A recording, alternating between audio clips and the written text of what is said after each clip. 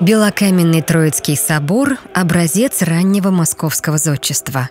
Это главный соборный храм и древнейшее из сохранившихся сооружений монастыря.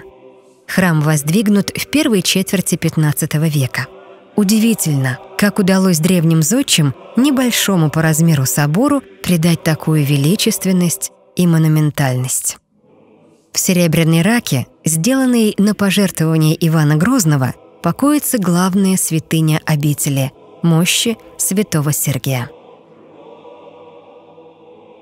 Серебряная сень над ракой – это дар монастырю от императрицы Анны Иоанновны. День за днем, на протяжении более пяти веков, монахи обители читают молитвы, обращаясь к Сергию Радонежскому.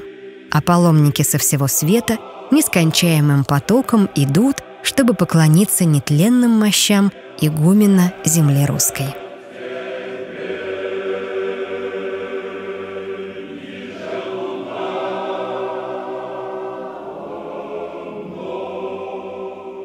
Иконостас собора был создан Андреем Рублевым и Даниилом Черным.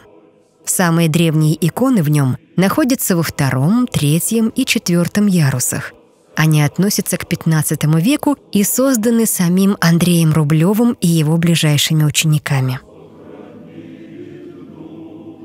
Интересная история паникодила работы немецких мастеров.